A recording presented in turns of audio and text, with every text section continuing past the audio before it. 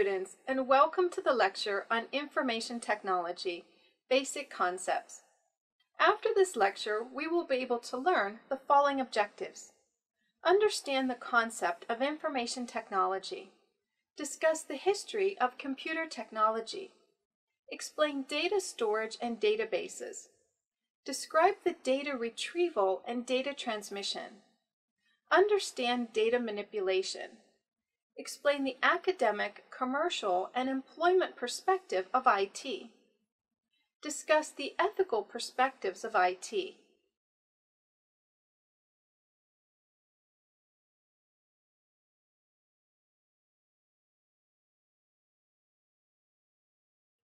Let's start with the basic concepts of information technology. Information technology has great influence on all aspects of life almost all workplaces and living environments are being computerized. In order to prepare diploma holders to work in these environments, it's essential that they are exposed to various aspects of information technology, such as understanding the concept of information technology and its scope, operating a computer, use of various tools of MS Office, using the internet, etc. These form the broad competency profile of diploma holders. Information technology is the use of computers to store and process facts and figures into a useful organized form. Data is the raw material, numbers and facts. Information is the raw material organized in a useful way. Numbers are data. A telephone book full of numbers is information. To emphasize the role of communications, some people use the acronym ICT, which stands for Information and Communication Technology. Let's now discuss information technology. The term information technology, or IT, refers to an entire industry, and in actuality, information technology is the use of computers and software to manage information. In some companies, this is referred to as Management Information Services, or MIS, or simply as Information Services, IS. The Information Technology Department of a large company would be responsible for storing information, protecting information, processing the information, transmitting the information as necessary, and later retrieving information. Now we will study the history of computer technology. The history has been organized using these widely recognized generations as mileposts. The mechanical era, 1623 to 1945. First generation electronic computers, 1937 to 1953. Second generation, 1954 to 1962. Third generation, 1963 to 1972. Fourth generation, 1972 to 1984. Fifth generation, 1984 to 1990. Sixth generation, 1990 to date. The mechanical era, 1623 to 1945. The idea of using machines to solve mathematical problems can be traced at least as far back as the early 17th century. Mathematicians who designed and implemented calculators that were capable of addition, subtraction, multiplication, and division included Wilhelm Schickard, Blaise Pascal, and Gottfried Leibniz. First generation electronic computers 1937 to 1953. The first programs were written out in machine code, i.e. programmers directly wrote down the numbers that corresponded to the instructions that they wanted to store in the memory. By the 1950s, programmers were using a symbolic notation known as assembly language, then hand translating the symbolic notation into machine code. Later programs, known as assemblers, perform the translation task. Second generation, 1954 to 1962. During this second generation, many high-level programming languages were introduced, including Formula Translation, Fortran, 1956, ALGOL, 1958, and COBOL, 1959. Important commercial machines of this era include the IBM 704 and its successors, the 709 and 7094. The latter introduced I.O. processors for better throughput between I.O. devices and main memory. The second generation also saw the first two supercomputers designed specifically for numeric processing in scientific applications. Third generation, 1963 to 1972. The first ICs were based on small-scale integration, SSI circuits, which had around 10 devices per circuit, or chip, and evolved to the use of medium-scale integrated, MSI circuits, which had up to 100 devices per chip. Fourth generation, 1972 to 1984. The next generation of computer systems saw the use of large-scale integration, LSI equals 1,000 devices per chip, and very large-scale integration, VLSI, 100,000 devices per chip, in the construction of computing elements. Developments in software included very high-level languages such as FP, functional programming, and Prolog, programming and logic. Fifth generation. The fifth generation saw the introduction of machines with hundreds of processors that could all be working on different parts of a single program. Sixth generation, 1990 to date. Many of the developments in computer systems since 1990 reflect gradual improvements over established systems, and thus it's hard to claim that they represent a transition to a new generation. But other developments will prove to be significant changes.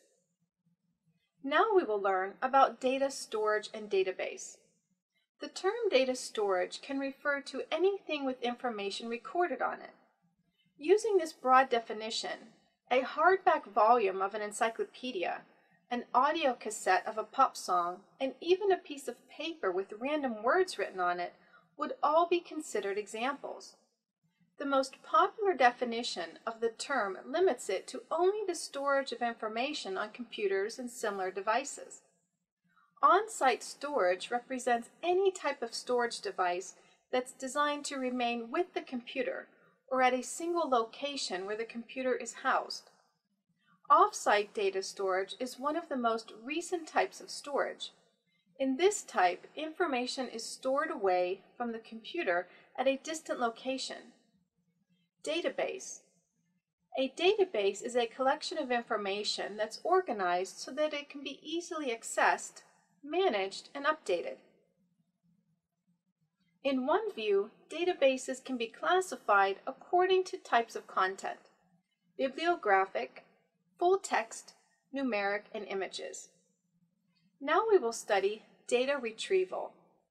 Data retrieval involves the capability to easily select data for graphic or attribute editing, updating, querying, analysis, and or display. The ability to retrieve data is based on the unique structure of the DBMS, and command interfaces are commonly provided with the software. A backup administrator must be able to locate the appropriate backup media and restore the lost data within an acceptable recovery time objective, or RTO. Excessive recovery time translate to lost revenue and customer relation problems. Some of the most important issues involved in retrieving data from backups are setting the RTO, Recovery is a process, not an event. One of the biggest challenges with backup planning is the establishment of a realistic RTO that will vary depending on the technology in use and the amount of data to be retrieved. Reducing data. Another way to accelerate data retrieval is to reduce the amount of data that must be backed up in the first place. Media management and retention. Data retrieval is also affected by the management and storage of the media itself.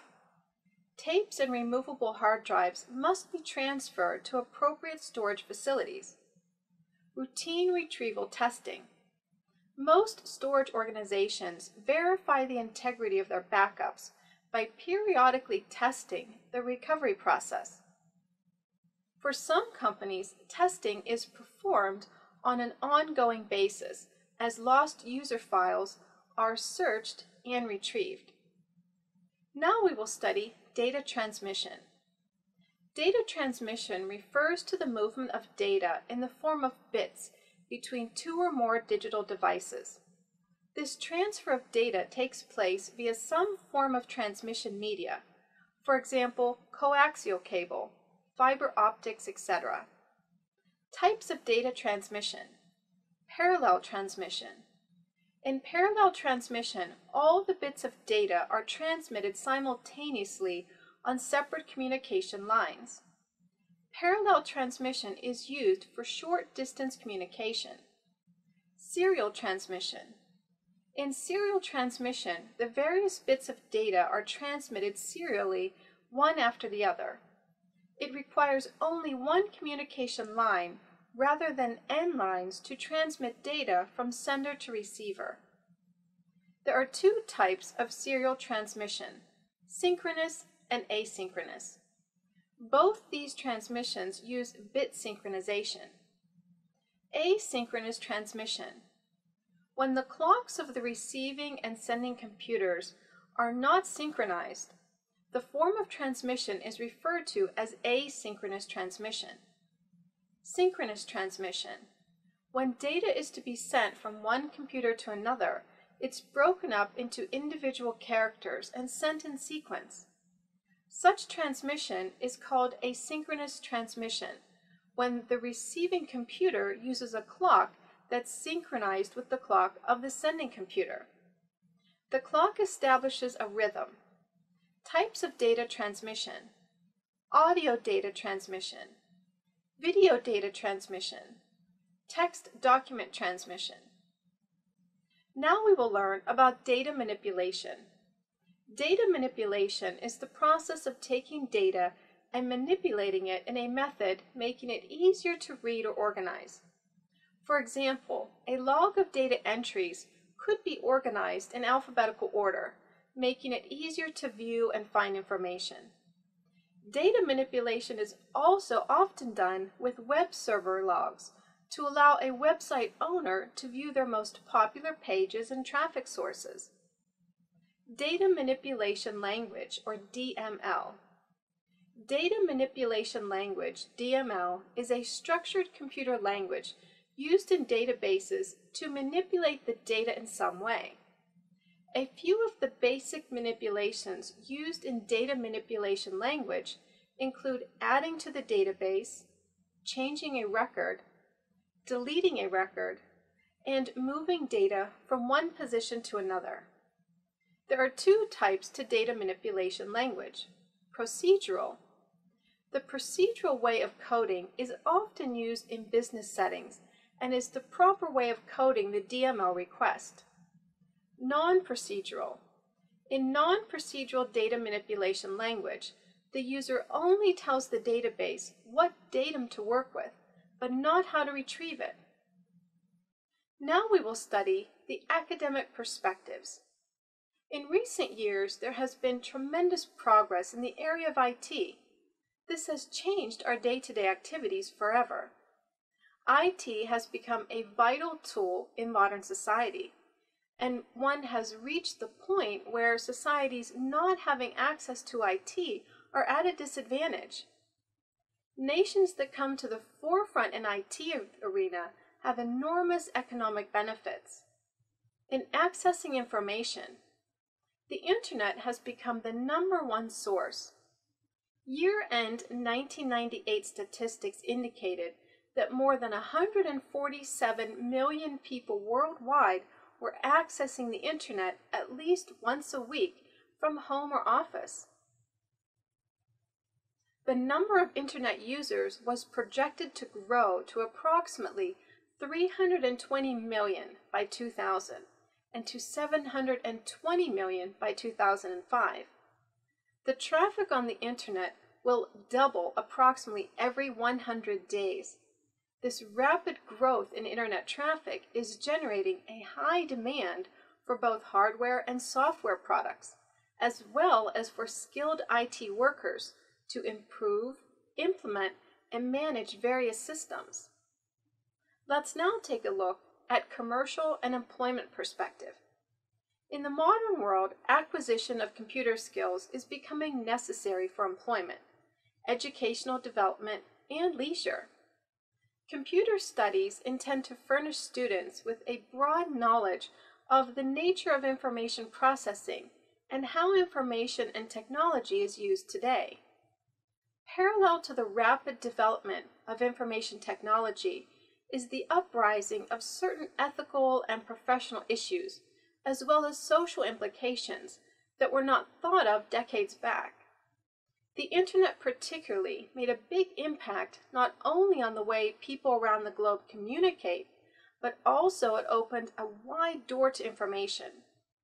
Changes brought about by information technology are in the way one lives, perceives, and does business.